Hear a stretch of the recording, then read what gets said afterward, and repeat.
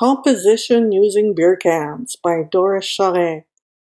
We're going to analyze the design on this beer can and see if it can apply to our paintings. These designs are great designs and we can learn a lot from them. So what can we learn from this beer can? There's a light area at the bottom and then this shape that's a honeycomb against a, an, an angle. So the text is at an angle and then we have a half circle and another circle. So the shapes repeat and almost touch. So that helps guide our eye towards the focal point. And the focal point in this design is the name of the beer. So we start with light at the bottom and then a lighter area where you put the amber lager on and then a medium color where the bee and the honeycombs are and that's against a darker color where the honey brown is written against an even darker color where the lo- logo is written in white against it. And there's a circle that a dot always attracts our eye. So that helps bring the eye up. So you have the dark at the bottom leading all the way up and our eyes being guided towards that logo. We have that medium area where the honeycomb is and it's going light against medium against light against medium against darker against darker again against light. So we're creating contrasts all the way through.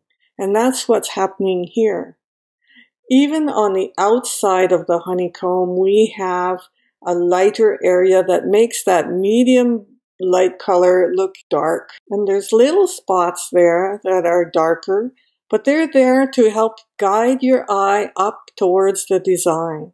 So this is really smart design. And what they're doing is they're guiding your eye around. Can you do that in your painting? That's the question.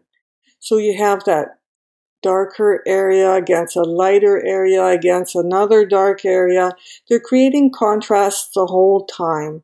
And at the same time, they're guiding our eye. So they're being not tricky, but smart, pointing out what the important part is. And that's what you want when you're designing a painting or you're creating a painting. Most of us do it that intuitively and we just do it without thinking. But here, can you spot it? Here you have a very large painting of fish under the water. So you have little dark areas that show where the fish are, but they're not completely defined. And then the focal point is really the water above.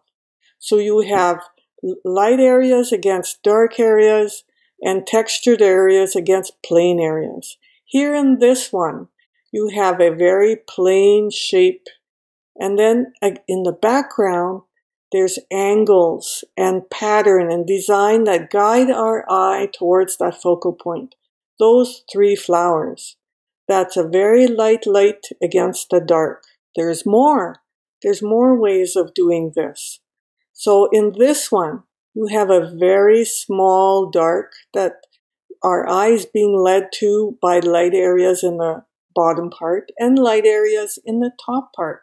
So contrast again. So that's a composition tip that we can take from the beer. Here's another one. Here you have a painting that has light areas against dark areas. There's some bigger ones at the bottom and they get smaller contrast. There's a line that looks like a road that brings our eye in to the focal point, which is the yellow clouds and the red clouds.